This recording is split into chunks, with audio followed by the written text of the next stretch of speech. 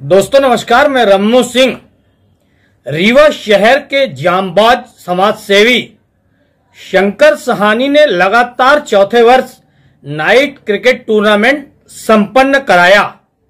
समापन मैच के मुख्य अतिथि पूर्व मंत्री पुष्पराज सिंह व कार्यक्रम की अध्यक्षता सिंधी सेंट्रल पंचायत के अध्यक्ष सरदार प्रहलाद सिंह ने की।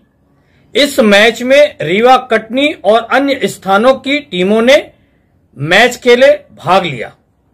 सबसे खास बात इस मैच के दौरान, खिलाड़ियों को नशा मुक्त समाज का संकल्प कराया जाता है।